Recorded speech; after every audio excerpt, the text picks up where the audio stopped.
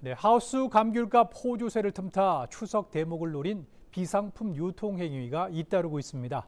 약품을 이용해 상품 감귤을 둔갑시키고 또 당도 기준에 미달한 비상품을 유통하려 한 선과장과 과수원이 적발됐습니다.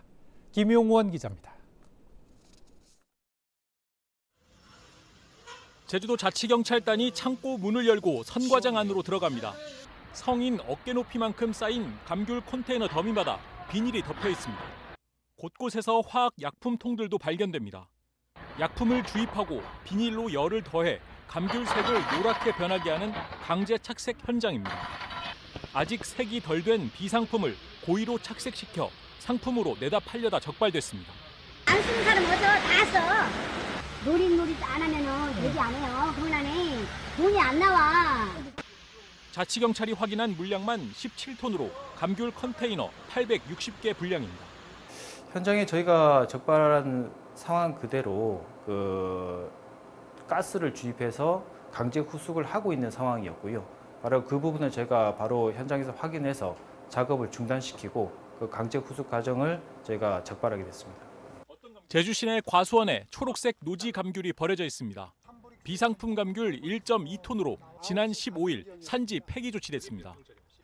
해당 과수원은 당도 기준을 충족하지 않은 비상품 감귤들을 시중에 유통하려다 농정 당국에 적발됐습니다. 표본 검사를 진행한 감귤 10개 모두 당도 기준치인 8브릭스에 미달했습니다. 최근 하우스 감귤 시세가 높아지면서 고질적인 비상품 감귤 유통 행위가 고개를 들고 있습니다. 품질 검사 미이행 위반 사례는 있었지만 덜 익은 감귤을 상품으로 둔갑시켜 유통하려다 적발된 건 올해 처음입니다. 행정시는 추석을 앞두고 기승을 부릴 것으로 보고 현장 지도 점검을 강화하고 있습니다.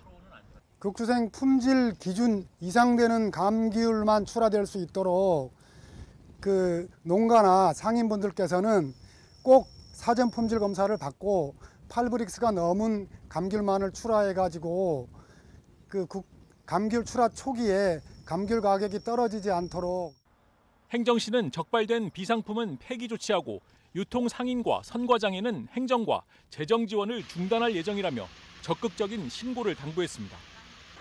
KCTV 뉴스 김용원입니다.